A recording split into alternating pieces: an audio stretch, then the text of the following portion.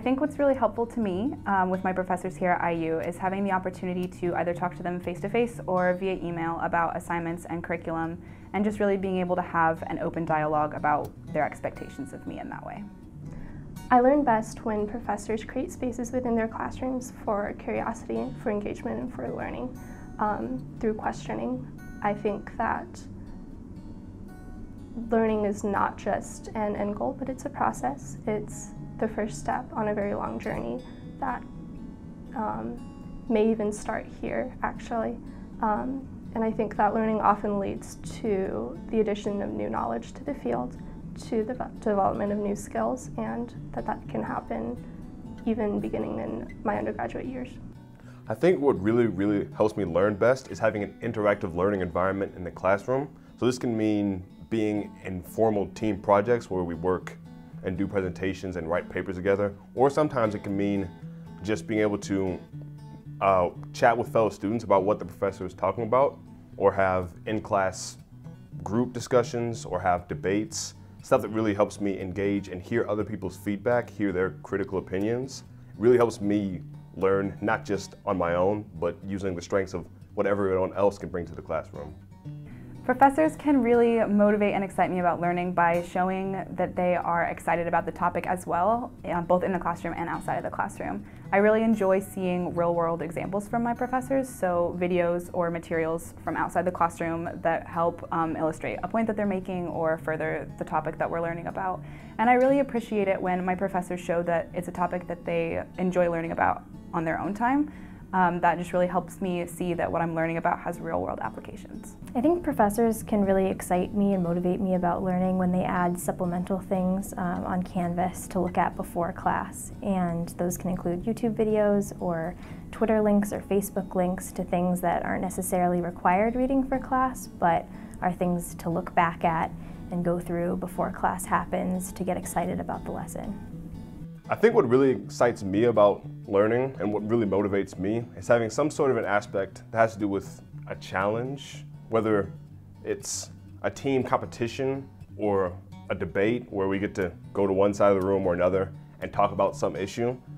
It gets it to the point where it's not just that I'm doing something for a grade, it's a little bit of personal pride involved, and it's really just a really fun activity.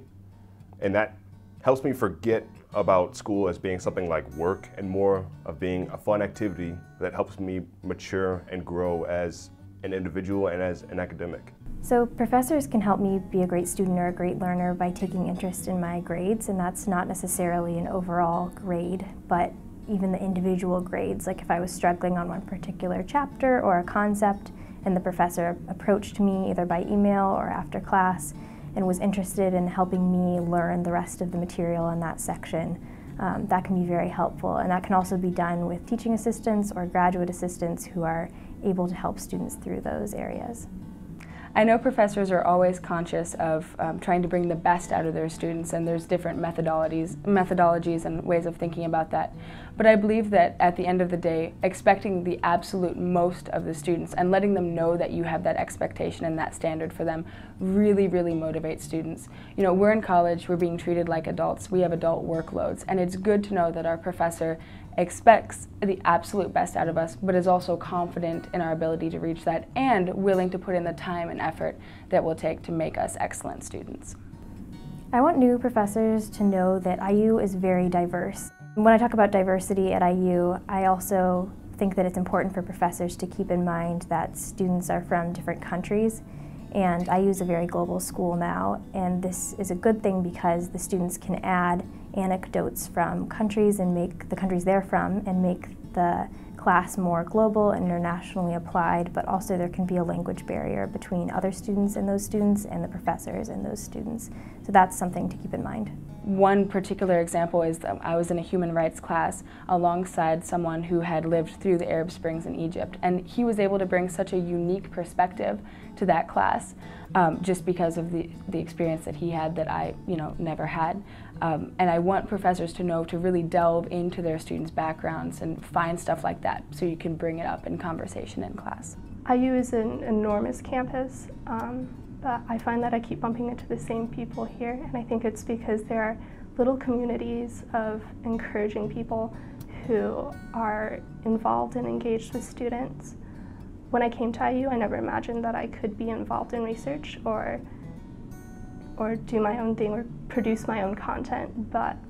um, now I'm here involved in two research labs and and designing my own studies and I think it's largely thanks to the outstanding faculty here who have encouraged me to